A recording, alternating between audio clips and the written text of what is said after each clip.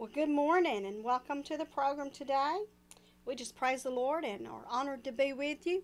Appreciate you joining us and we appreciate what the Lord is doing in your life and in the lives of those that we know and whom we have seen God just turn their life around. And, you know, He's that kind of God. He's the God of second chances and He is the God of third and fourth chances. And He just delights to minister to His people. And as you, as a woman of God, He has a plan and a purpose for your life. You may be seeking His face to find out what that plan and that purpose is. Let me just encourage you don't grow weary in well doing. Whatever you're doing right now, God's got a purpose for that. Wherever you're at, He's got a purpose for you being there and He will direct you and He will certainly lead you in the way that He wants you to go. And He will open those doors and He will encourage and strengthen you. You're going to find times when you're going to grow weary. You're going to find times when you're going to feel downhearted. But those are the times when you're just going to have to trust His will and trust His word and know that He's got a plan for you. And we just want to encourage you this morning to just allow Him to minister to you today. And we would like to hear from you. And, and if you want to contact us, you can do so by reaching me at Lynn T Ministries at AOL.com. And I'd like to connect with you if you have something you would like to share and a testimony you feel would minister to somebody. Connect with me there or find us on Facebook with Defining Moments at radio station and uh, send me a comment and let me know hey i have something i feel that will minister and i will talk with you and we will share and set up a time and let me hear your story and see if if that's you know what the lord has planned for you and to come on here and to share with others. You know i always like to say the test is about us and the testimony is about somebody else. That you can tell them that when they're in the midst of their storm what God did for you in the midst of yours, and it will help them endure. It will help them as they struggle. It will encourage them to keep going and to know that if the Lord be for us, who or what can be against us? That no weapon that pros- that no weapon that forms against us can prosper. Now that lets me know that weapons are going to form. Things are going to come against us. But I also know the weapons of our warfare aren't carnal, but they're mighty through God to the pulling down of strongholds. And He said, when we have a walk with Him and these weapons form against us, then they're not going to be able to prosper. They may look like they are, but He will prove Himself God in the midst of our storm. And He will walk with us, and He will help us and bring us comfort, and bring us peace, and bring us direction. And in that dark, cold night of your storm or your process, He will speak ever so sweetly and He will minister to you right where you are. And so I just want to encourage you to call up a friend this morning and, and have them join us. I have a beautiful guest with me today, and she and her husband have certainly been through the storm. They have walked through a, a trying time, and you know, I use that word walked through uh, rather, I don't use it lightly today because there was the possibility that one of them might not walk. One of them, you know, might not survive. But the Lord had other plans. And I know that everything the enemy means for evil, God can turn it around and make something good if we'll just dare to trust Him and believe His word. And I know you've heard some powerful testimonies this year on this program, and this will be no exception. And I just want to welcome Ann Whisnant and her husband Jim to Defining Moments today. Their uh, Jim pastored for 20 years, as, and um, they like to call their testimony Strength Made Perfect in Weakness. And as I said, Jim pastored for 20 years as an Assembly of God minister, and 15 of those years he ministered right here in the state of Alabama. And then Jim became a prison chaplain and was at MS State Penitentiary for 17 years. And while he was doing that, Ann worked as a nurse for 31 years. And after retiring in December of 2011, they moved to Clanton, Alabama. And um, in December, Jim decided he'd try his hand at something else. And he wanted to be a truck driver. So he began to drive 18 wheelers across country. And every two weeks, Ann would go with him and they would see the countryside. And I just let me add that they are both ordained Assembly of God ministers, and uh, they are doing a work for the Lord even now. And having struggled and come through what they've come through, the Lord has just proven Himself more and more to be God in their life. Now, as I said, Jim began driving a big rig, and um, he was sharing with me earlier how that it was in January of 2013 that he um, began to drive the truck alone without a uh, trainer there with him, and he began to go out on his runs. But on uh, a Saturday during uh, 2013, maybe like 12 weeks into his new career, their story took a turn. Their life took a turn. And with that, I want to invite Ann to join me today.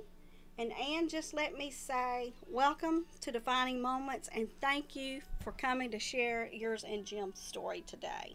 Well, thank you, Lynn. I appreciate you having us. Uh, we were had just dropped a load off in Detroit, Michigan, about 5:30 that Saturday morning, and we're headed out of town. It had been snowing, and there was icy slush on the roads. We were on I-94 and we pulled off on the side of an on ramp for Jim to put some information into his computer to the company. And as we pulled off, we saw over to the left in the medium a car that had apparently slid off the road due to the ice, and there was a man standing down beside it. And up on the shoulder of the road, there was another car, and a lady was standing there. And Jim said, as we pulled to a stop, he said, Well, I don't think she's going to be able to pull him out of there. I, I don't know if I could use my truck. And I said, No, no, honey, I don't think so.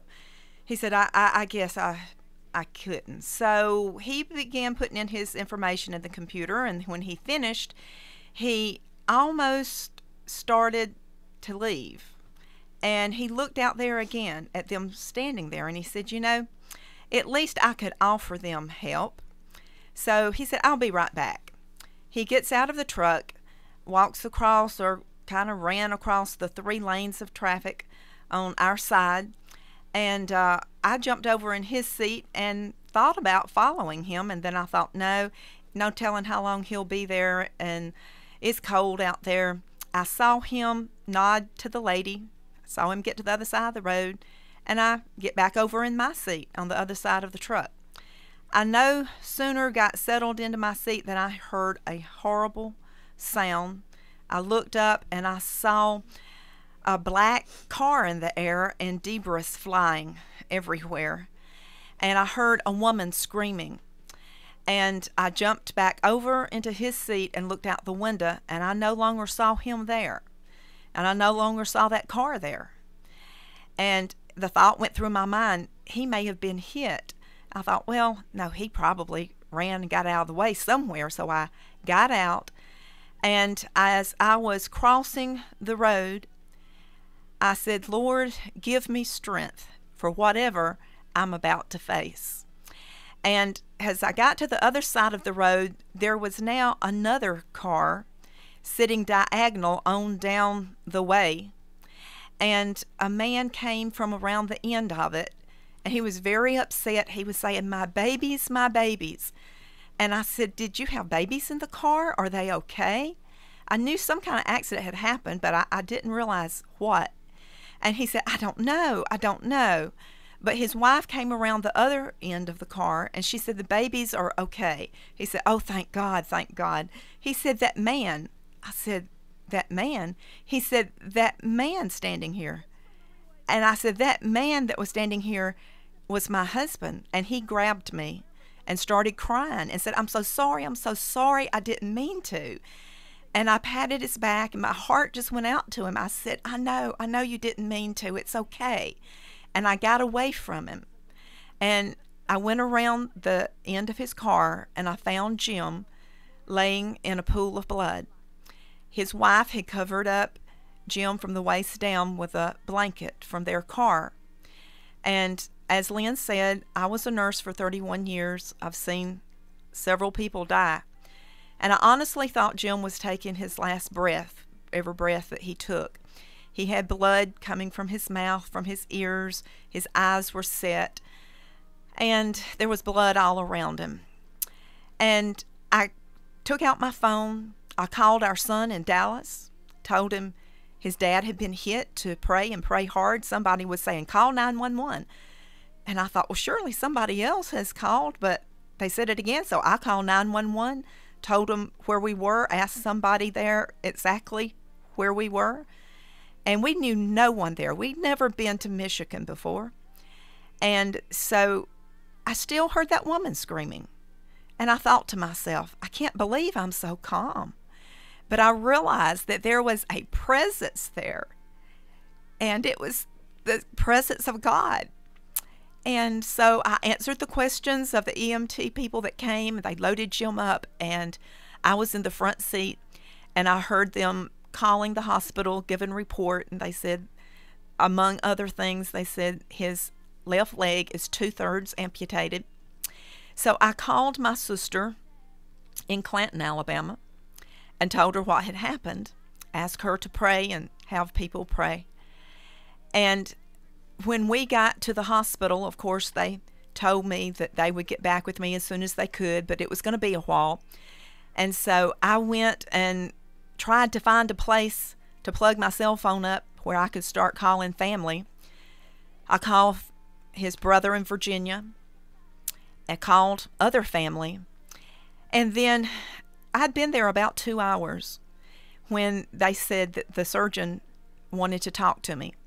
And he took me in a little room and he told me that um, they were going to take Jim to surgery. And he said, Right now, we have got to concentrate on saving his life. We can't save his leg. It would take too long, and it's his breathing and his lungs that we're concerned with right now. I said, I understand. So they took him to surgery, and he told me to go to the second floor surgical waiting room and tell him my name at the desk. So when I walked in and told him my name and got my sticker, when I turned around, there was this elderly couple that came up and said, introduced themselves and said, So you're with Jim, Jim Whisnant? And I said, Yes. But now, like I said, we knew nobody up there, and I thought they had the wrong person. And they said, we, we know Sam and Rachel. And I said, Who? And they said, We know Sam and Rachel. And I realized they were talking about Jim's brother Samson and his daughter Rachel down in Hacoda, Alabama, at a children's camp that they've lived and worked there for many, many years. And I said, Oh, yes. And they said, We're friends of Samson's. And he called us and asked us to come and that and then by the time they got through talking there were five other people that walked up from two different assembly of god churches there. And they didn't know who they were looking for but they said yes we were told about you too and we're here to do whatever you need. And that was the beginning of what we called our michigan angels. And they multiplied. We ended up being there a total of 81 days and these people that God sent us, total strangers, they went to the airport, picked up my son. Later, one of them picked up my daughter. They offered their homes to us when our families were up there. They brought us food. They prayed with us, cried with us, took me to town, bought me clothes. They did everything that anybody needed but, and the pastor, Trey Hancock, was out of town right then, but he had sent his associate. When he got back in town the next day, he went to visit Jim. And him and Jim became like Jonathan and David every day while we were there, except for a few days when he was going on a missions trip. Trey came at least once, sometimes twice a day, and just talked with Jim, listened to him, prayed together, cried together. Come to find out, Trey, been up there 20 some years, but he's originally from Birmingham. And um, we've become fast friends with him and many of the others. But the first 48 hours, they would they didn't give us any hope for Jim. They they said he's it's touch and go, touch and go, and they said we we don't know. And then they told us at one point we've done everything we can. We're just waiting for his body to respond. They said he had had a crushing type accident.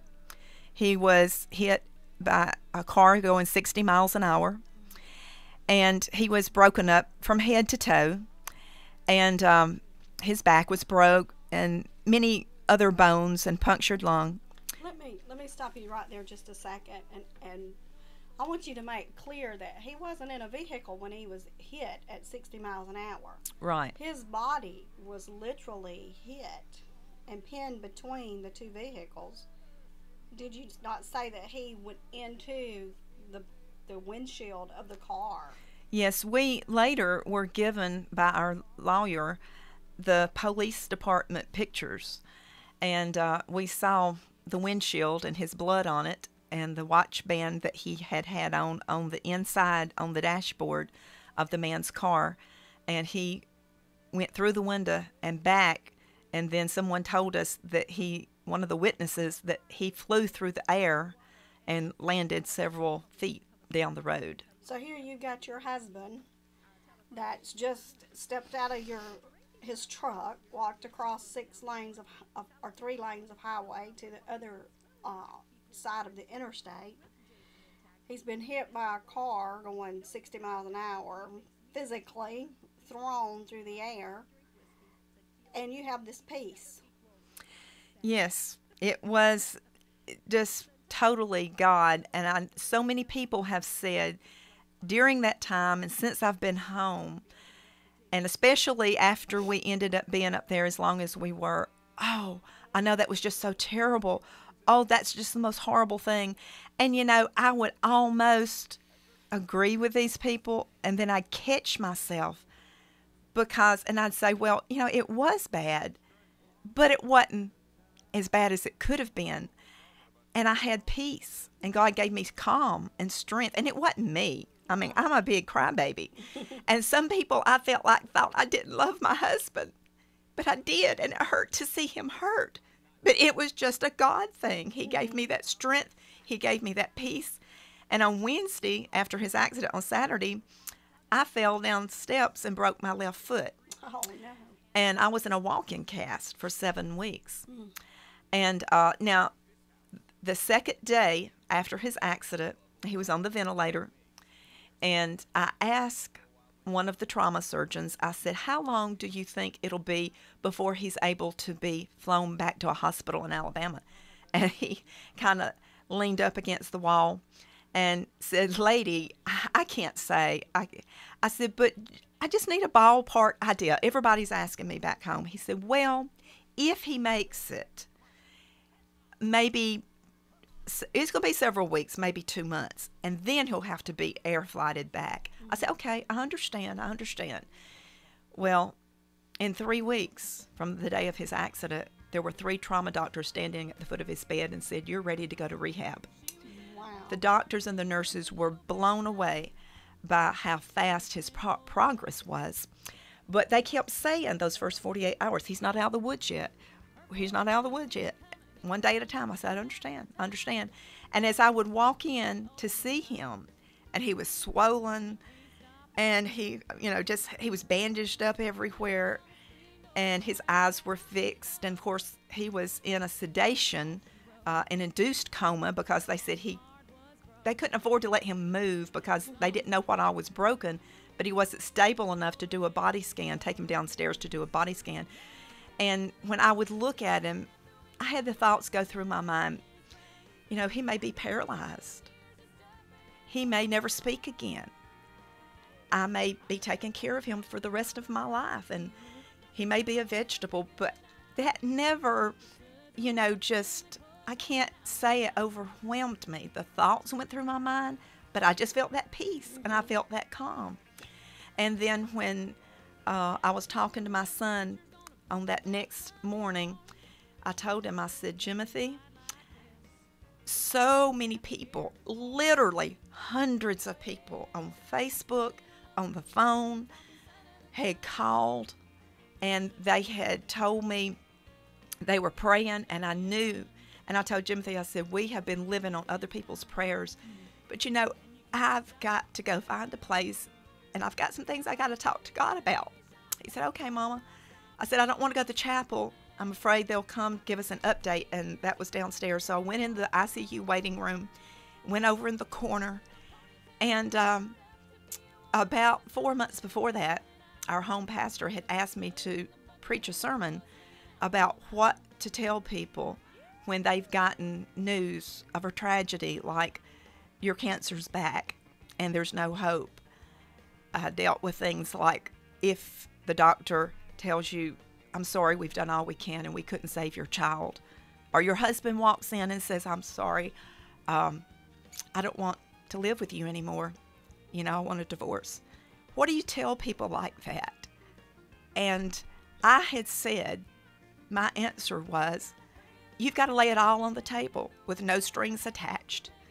To have peace, to have victory, you've got to say, God, I'm yours. Everything I am, everything I've got. And you've and I had sang a song and had said, whatever it takes to draw me closer. Mine and Jim's desire through the years has been to glorify God's name. And since he had left the prison from being chaplain, which really was not his choice at that time, we kind of felt like we'd been put on the shelf. I believe it's a ministry taking care of my parents, and we minister where God opens the door, but we were just felt like, God, what are we doing right now? And so I went into that waiting room and got down on my knees, and I felt like that some voice was saying, Did you mean that? Did you mm-hmm. really mean that? And I said, God, I did mean that. And whatever happens, if Jim lives or if he dies, I just want your name to be glorified in my life and in his life. And I know that you are the healer and you can bring him through but I still lay it on the altar, no strings attached, whatever you want, God.